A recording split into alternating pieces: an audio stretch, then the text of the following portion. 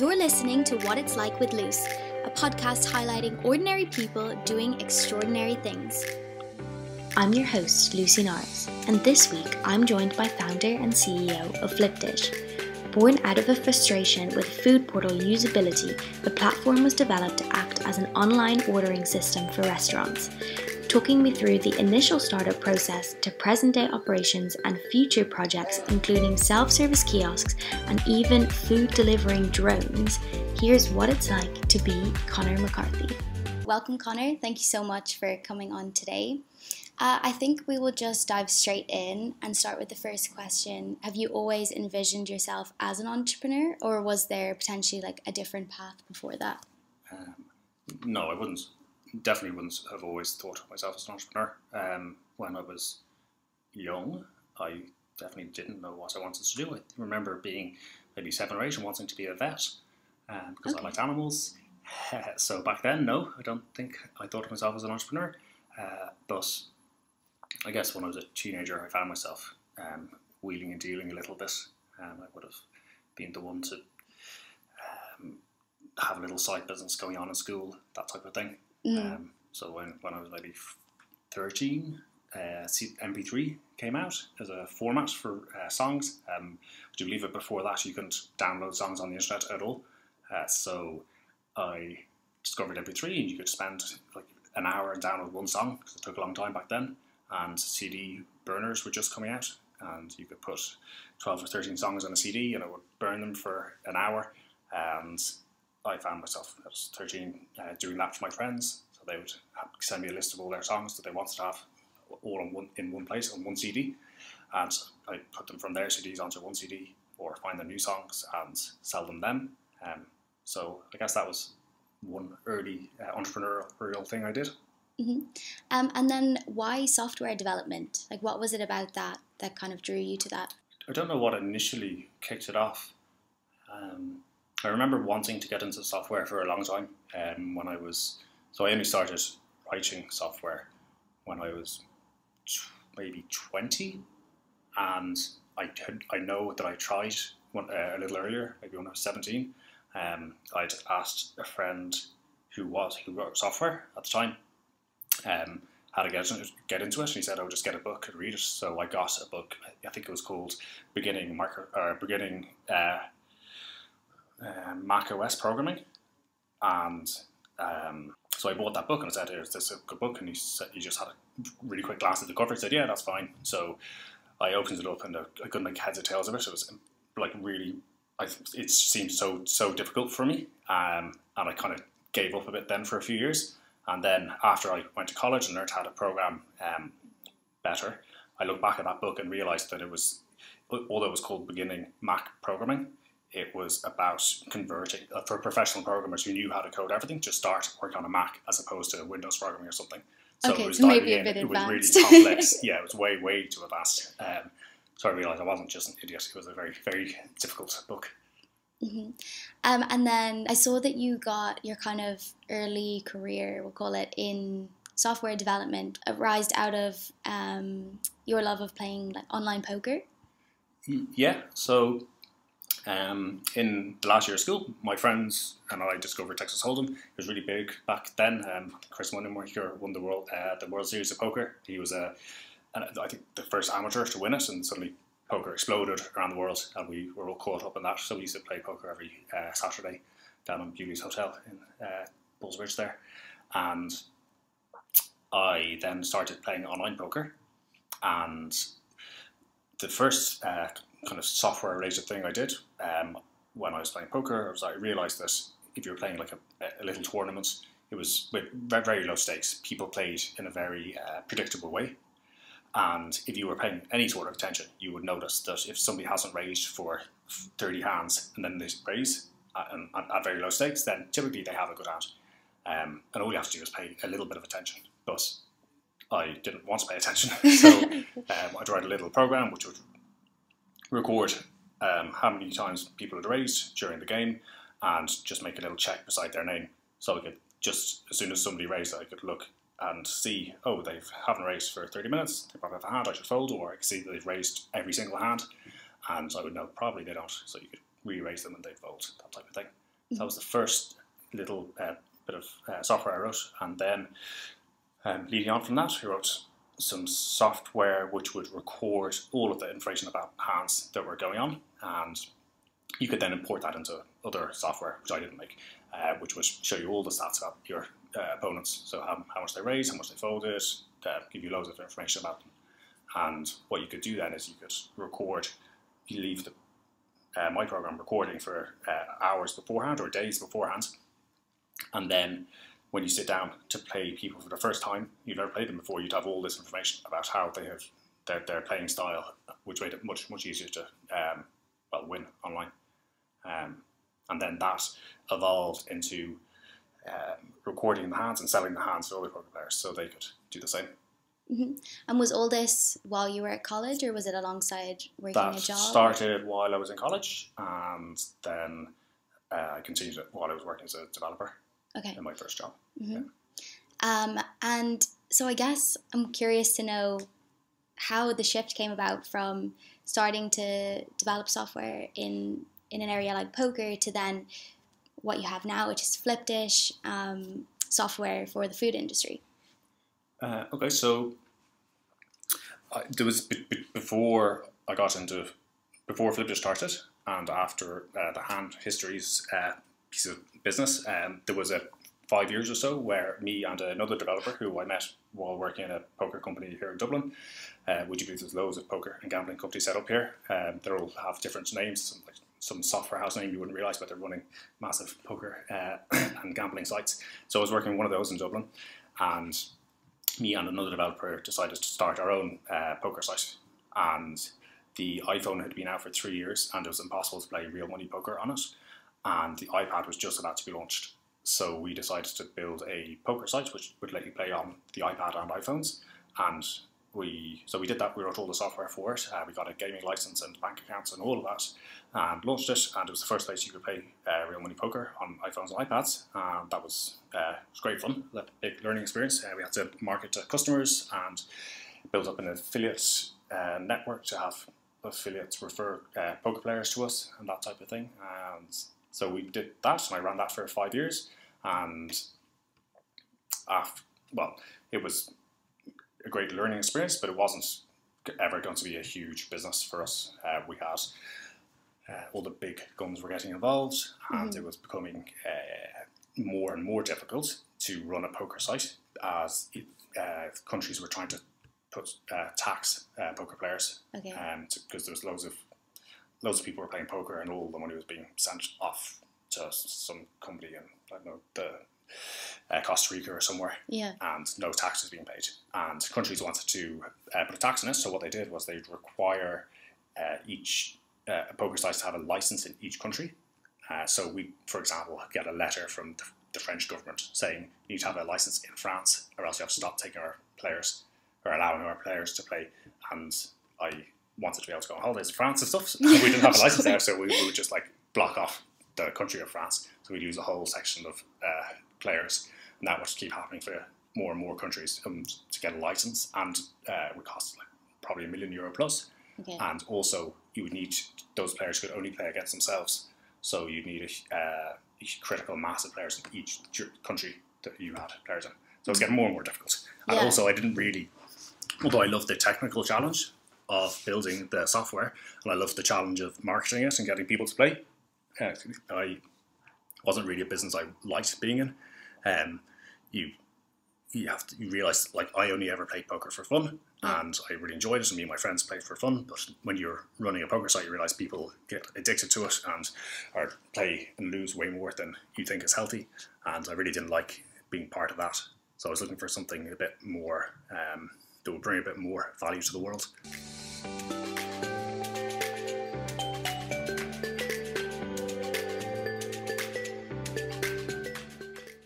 So you decide to kind of wrap up the poker business um, and move on to something else. Mhm. So how did Flip Dish come about? What was the initial thinking behind that? So the initial thinking was that we would create a, a food marketplace. Uh, We want so. I had I remember when I was doing my software masters that we had to do a project, and for two weeks, just we had to make a website where you could go and do something and record something to the database just to teach us how to do stuff. I thought that maybe I could do a website where you could place order for food to restaurants.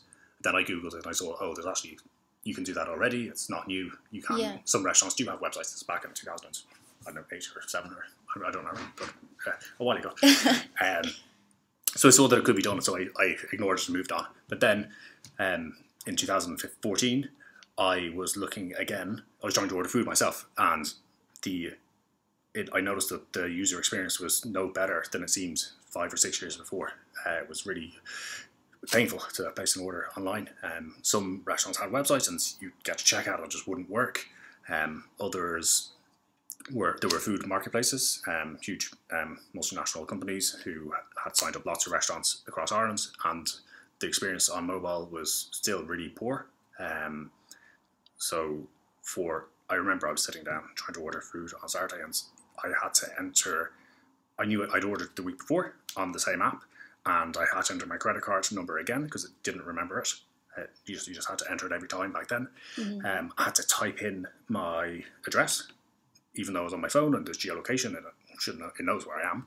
Could Yeah. know. Um, and I had to reset my password because I'd forgotten the password, and so I had to go to my email and open a link and all that. It was just really painful. It was easier to call the restaurant. basically, Yeah.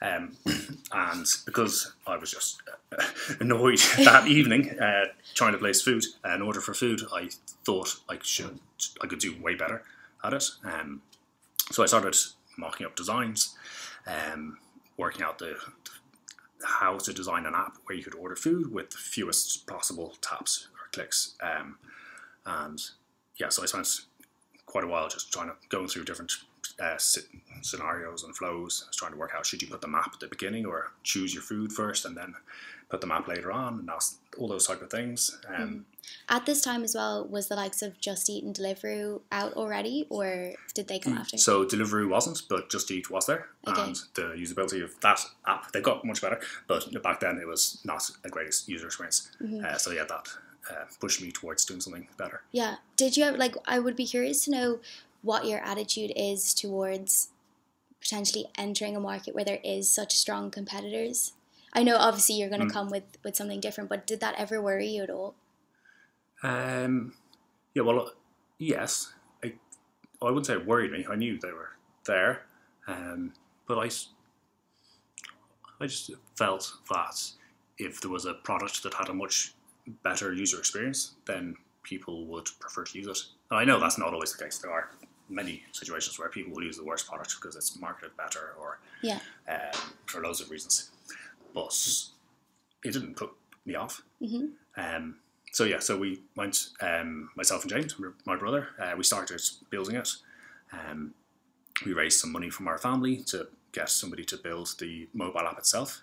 Um, I did buy a uh, book on how to write iOS uh, software. And after a week or two of reading it and trying to write some code, I realised we should get somebody uh, who has done this before. Mhm. Um, so yeah, so we raised a bit of small amount of money and found a developer who would uh, write the uh, write the program, write the app. Uh, I went ahead and wrote all the kind of server side software at the back end, the, dealing with the payments and the, creating accounts and all that. And James got to work on marketing at uh, our food portal, Flipdish. And then after we had built all of the software, we start went and spoke to our first restaurants and to sign them up to it. And they um, had some interesting information for us. They told, they basically said they really did not want another marketplace. They um, educated both of us to lots of problems they were having with food portals. Um, they said that they, I mean, even though our app was really nice and easy to use, they really didn't feel uh, that mattered to them. What they said, uh, they said their problems with the marketplaces were that well, if they sent a customer to a marketplace, all of their competitors were in that app, which uh, they didn't like because they felt they were sending their customers, uh, they were giving them away to uh, their competitors, um, and they had no control over how high they were listed in the app. And they knew that they could they can have a really good brand. Lots of people are trying to order from them, and they send them to a marketplace, and then their competitor will be listed above them because they're paying to be up there. And they didn't like that. Um, they had they told us the fees they were charged by marketplaces, but the, well, the marketplace in Ireland had gone up every single year since it was introduced in Ireland, and they felt very controlled by it, and they didn't see a way out for themselves other than being able to accept orders directly. And they knew that their customers wanted to order from them, but uh, online, but they didn't have the technology to let uh, them let them do it to enable it. Um, they, some of them had tried to get somebody to build them a website which would um, allow their customers to place orders online, um, but that tended either to not uh, to end up with a not very usable website because it's quite difficult to build a very user friendly system. Um, and even when it was user friendly and it worked over the years, technology moved on, mm-hmm. and then they were left maintaining this website and they're trying to run a restaurant. And the, the maintenance is very uh, difficult and expensive because new phones come out, new screen sizes, new retina resolution uh, screens, and so forth, and everything needs to change. And then something would happen, like their e- they, they'd be reliant on some service, like something that sells emails, and that service would disappear. And they'd have to revisit and get to find a developer to come back and fix it all for them. So what they wanted was an off-the-shelf solution which would let them receive orders directly. They'd have their own branding on it. They could send push notifications to their customers. They have their logo on their customer's phone, which they see hundreds of times a day. Um, they'd be able to have their own loyalty systems and their own factory codes and all that type of thing. Um, so we had built this marketplace uh, with this lovely software, and then all these restaurants told us that they didn't want it. What they wanted was their own system, so we reworked it. And um, at the beginning, so a year in, at the beginning of 2016, we started to do uh, that. We offered restaurants their white labeled uh, website and mobile apps.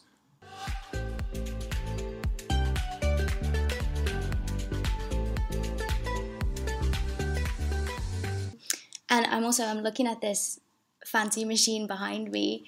Um, I read that you guys have put these kiosks into a few restaurants around Dublin.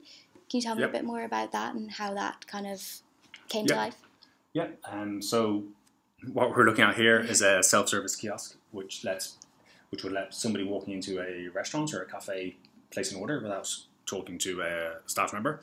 Um, so we actually had a kiosk in a store back in late 2016 and we we did it because we were asked by a store, hey, can we put your Android app on this tablet and put it in the store and let people order from it? And we are like, uh, yeah, go for it. So they did that, and they had it running for a couple of years.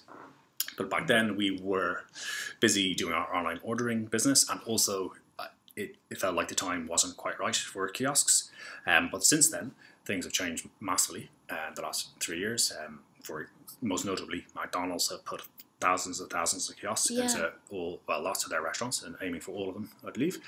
Um, and they've shown that it works really, really well, both for the restaurants and the customer. Um, so what everyone has seen with uh, the McDonald's um, experiment is that people like lots of people prefer ordering with kiosks. They will um, order more when they use them um, for whatever reason. Maybe they it's because they can see lovely images of uh, the food, and there's no time pressure because um, they're not holding up a person when they're giving them the order, and they also aren't don't feel like they're being judged for what they're ordering, so like uh, are more free to order whatever they want. Um, so yeah, it's worked really well for McDonald's, and now, uh, well, over the last year, um, we see that lots of smaller uh, businesses, restaurants and cafes, will well will want to do the same, but they'll really need to do it to compete with um, these large companies like McDonald's, but they don't have the resources to build it themselves. They can't go and source har- hardware and build their own software and run, do all the uh, integrations that are required behind the scenes. Um, so we have done that for them and are offering this off-the-shelf solution for them. Um, so yeah, they're very they're in a good few restaurants around Dublin and the UK now. Um, yeah, they're very uh, it's going very well. The restaurants really seem to like them. It's great. You can just sit and just cafe next to us. You can sit in there and see all the people come up and use the kiosk and mm-hmm. place their orders, and the staff uh, really seem to like it because, uh, well, one bit of feedback we got was the staff members hated having to remember and know Irish people's names because Oh. typically, even for Irish people, it can be difficult uh, Yeah. when you got Quilon and Quiva and so forth coming in. Uh, but if you're a foreign, it's next to impossible, and they have to try and write this name down, not knowing how to spell it, and then call out the customer when it's uh, when their food is ready. Uh, but now with the kiosk, they just get an order number. They can say, "Yeah, order number twenty three is ready." Mhm. Um, it makes it much easier for them operationally, um, and it means they can uh, they don't need to stand at the desk waiting for a customer to come in all day. Um, and they can go off, they can clean, they can do loads of other things that are beneficial to the restaurants. Um, yeah, and I suppose one particular area we're seeing them be uh, particularly useful in is uh, businesses where there's a very um, distinct peak period. So, place, for example, places do a lot of lunchtime trade, Yeah. they get they're very uh, there's very little going on um, in the mid morning and then very little going on in the late afternoon. But between one and two, they're absolutely slammed, and they have way more uh, customers than they can handle just for that really short period. And that m- means, well, one, it's very different from to hire to staff for that. You can't really hire someone for an hour and a half a day. Yeah. Just people don't want to do that. um, and it, yeah, so it means that they have too many customers uh, over that period, so they're losing business. But with kiosks, they can um, have enough kiosks to receive all the orders for as many people who come in, and then the staff who would have been out there uh, taking the orders can help prepare the food. So they can massively increase their uh, throughput. Hmm Um, and then the other thing I wanted to ask you about was the drone service. Mhm. How's that going? Um, well, so that the these drones are being um, built by a company called Manna Yeah. uh, in Dublin. So that's a different company to Flipdish. Mhm. Um, we are doing whatever we can to help Manna and get it going by putting them in contact with restaurants and having making it possible for um, there to be an integration so that when somebody places an order for food, a drone gets notified and um, deliver the food. But Like something out of Futurama or something like that. Very yeah, cool. well, I think like it makes so much sense. I mean, Yeah. peop people think, oh, the drones so futuristic and uh, that'll never happen, but they're not. Like we put people on the moon like 50 years ago or something. There's pe- human beings flying across our heads at the moment, so surely we can have some food just fly around. It Yeah. doesn't seem uh, out of the realm of possibility at all. Um, and then going back to kind of the whole process of bringing Flipdish to life, do you remember maybe any moment during that process that you kind of felt that this was really going to work? Maybe like the securing of a client or something like that. Um, well, I remember at the very beginning when we were running the marketplace, we had lots of restaurants listed in our app, and we hadn't signed them up. Um, we an order would come through to us, and we, me, myself, and James, would get a text message, and then we'd have to ring the restaurants and put the order through by hand, Okay. um, which was uh, great fun for about two days, and then yeah, I'd say that got a bit much after a while. yeah, uh, yeah, it got uh, a bit tiring. Um, every single evening being interrupted by like lots of different text messages and having to call the restaurants and so forth. Um, but then we, we would sign. Our, when we finally signed up a customer and we were able to put a printer in the restaurant, and we saw an order be placed by a customer and then received by the restaurant, and then accept it and then deliver the food. That was a uh, great feeling. Yeah, that. Um, well, it it was nice to actually see the whole flow go through. Mhm. Um, I remember our first pizza that we ordered to the office. Um, like we we placed the order through our own system and saw that uh, the restaurants um, uh, received it, and then the pizza arrived. And I remember thinking, "This is great. So it only cost like forty thousand euro or something to uh, build all this and receive a pizza. It felt like a very expensive pizza." Um, so yeah, the first order went through. That was um, impactful. Other than that, yeah, I, well, I suppose when we moved to doing the white label, we saw that the restaurants were really bought in to it. They they wanted their customers to use their direct ordering, and that was really interesting to see. Whereas when we had the marketplace, they they wanted us to bring them the customers, which was fine. It was a marketplace; that's what it's meant to do. But when we had white label ordering, they were really um, they really were uh, motivated to have people order from uh, directly through the white label as opposed to uh, through the marketplace. And when we saw that behaviour, um, that was very um, interesting and good to see. Um, yeah, and that helped direct the company. hmm And obviously, whenever you're starting anything new, there's always going to be a few like hiccups and things like that. Um, what do you feel is potentially either the biggest challenge or the biggest mistake that you made throughout the Flipdish process? Hmm. There's so many cha- many challenges. Um, it seems there are lots of small challenges. There's none right now that stand out.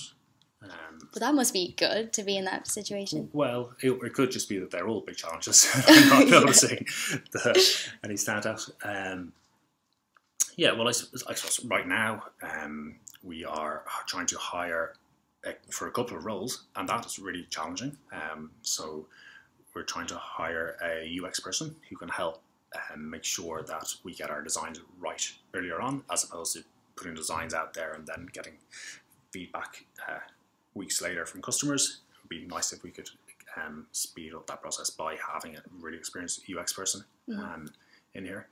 So hiring for that is difficult. Uh, hiring a product owner to um, also help us build new products that's proving difficult. Um, yeah, so hiring is so- well, I suppose it's something we've had to uh, do a lot of after done a lot of over the last year. So we've gone from about twenty to ninety people in twelve or thirteen months. Okay, so- it's big.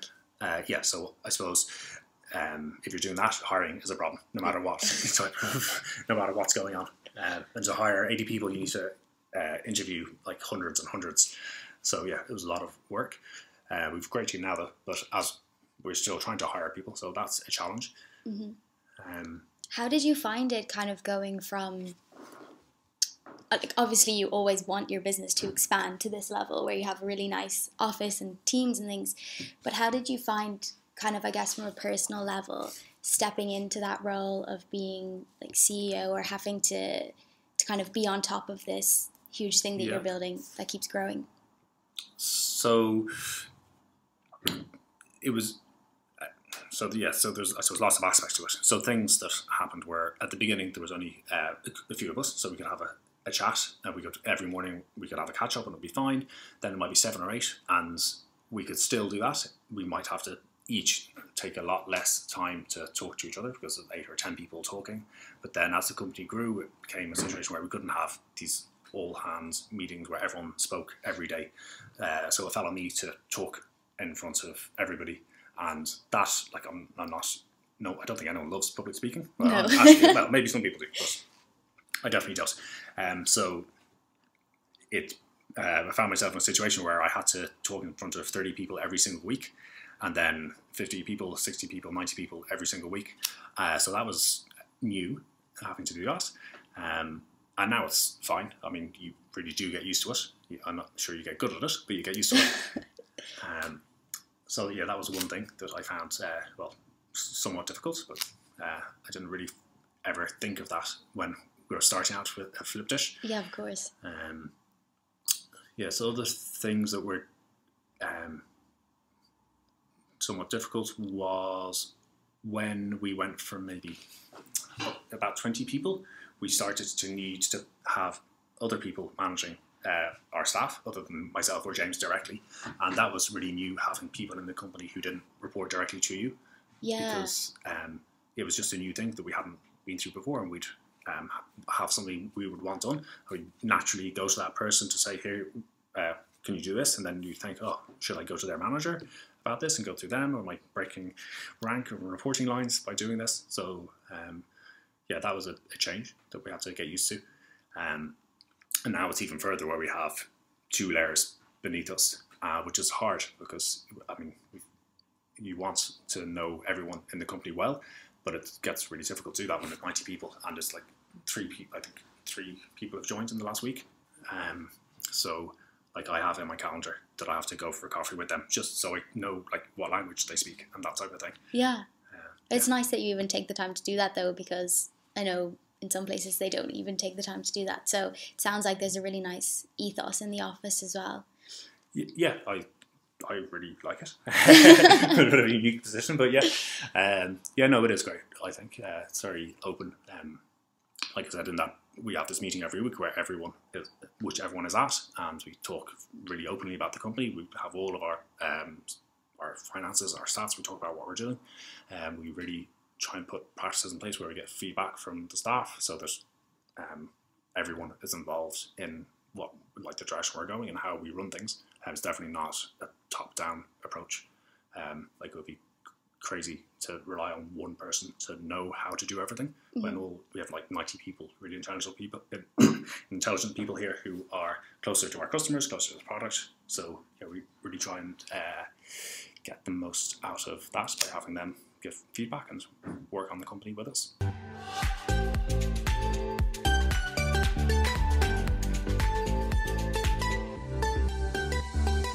what is your idea of success what does that word mean to you? I don't know. Um, so if I was start, so if I could from if I was five years ago and I could look forward to today, I would think that would I would consider that success. Yeah. Yeah, I think that back then I would consider success, but now um, I feel we're such a tiny, tiny little company with only uh, 1,600 uh, customers, and I feel like we're not going to be a success until we're the leader in Europe. We've we've hundreds of thousands of restaurants. Um, so I think your what success looks like changes as you go forward. I'm sure like it's not unique to business. If you're an athlete and you're young and you really really want to get on the school team, then you're really happy when you do. But then you want to get on the the like the Leinster team, and then you're you realize oh actually I train hard on the best in Leinster. I want to play for Ireland, and then so things progress and your expectations change. Mm-hmm. Um, and what do you want? I don't want to say end goal because I feel like no company ever properly has a definite end goal. But what would a really successful future for Flipdish look like? So I think we it would look like being a company that is um, well, stability would be great, which and that means being a few times larger than we are now. And it's not that like we're any risk of going anywhere. Like just even things go really well. Yeah, things are going very well, and like we've lots of um, very very happy customers and lots of great products and um, yeah, so it's not like there were risk, but we would be a lot more stable company if we were five times the size. Um, so having that level of stability and I suppose profitability comes with that. That would be a part of it, um, but that's really just on the keeping the company alive side of things. Um, what's more um, important is, I think, having a company which is needed by um, our customers. Uh, so, like our goal since since we learned since we got the feedback from those restaurants very early on, uh, we made it our goal to give restaurants technology so that they can succeed online and um, have every um, have an edge over their larger competition, so they can have technology that's good as or better than the biggest companies like Domino's and McDonald's uh, and the big food marketplaces. Um, so if we can provide them with that technology, then that's I would consider that a success. A success. Mm-hmm. And then my final question for you today: If you could sit in front of your ten-year-old self now, from the position you're sitting in today, what is the biggest piece of advice you would give yourself? Uh, buy Bitcoin. um, other than that, to be able to answer that, I just think of things I've done wrong. And what have I done so many to choose from. um, yeah, I think I would say don't waste time. Um, yeah, so if you find yourself, so I suppose when I was running the poker site, there was two years uh, near the end of the business where I was sort of twiddling my thumbs, waiting for it to wind down, and I think that was a waste of time. I should have moved on earlier. So I think lots lots of situations where lots of people will uh, know that they should move on, but they don't make a move. And I think it would be good advice to more actively think of the future and um, force yourself to move on if you think it's going to happen anyway, and not waste time because it we don't have much time in the grand scheme of things. Well, thank you so much for answering my questions today and for chatting with me. Thank you very much. Thank you so much for listening, and as always, please don't forget to share, comment, and rate this podcast if you like what you hear. I'll be back next week chatting to more inspiring individuals, but for now, this has been What It's Like with Luce.